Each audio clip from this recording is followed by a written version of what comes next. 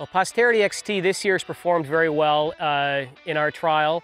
Uh, the non-treated control has had almost 100 dollar spots. I just rated it last week and Posterity XT had almost none. Last August I rated it and the non-treated control had 142 dollar spots in it and Posterity XT had zero, right? You can't do better than that. So a very strong control under some very heavy pressures.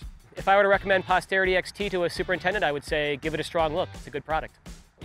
Well, Posterity XT, uh, we're always most focused on dollar spot uh, here in our trials, and so it's been very, very strong against dollar spot. Also, uh, the azoxystrobin in there, excellent against uh, brown patch, and it's also very effective against a lot of different patch diseases, right? So we know the headway in there. Headway's been very strong against patch diseases for a number of years, and so we would expect XT to perform well against patch diseases, and it has.